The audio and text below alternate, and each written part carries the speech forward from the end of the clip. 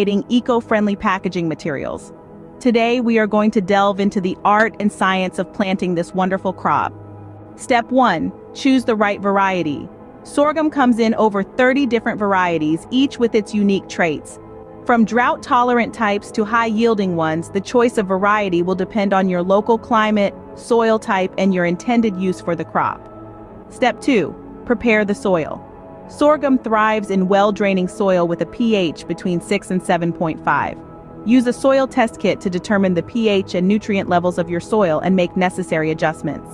Step 3. Plan your planting time.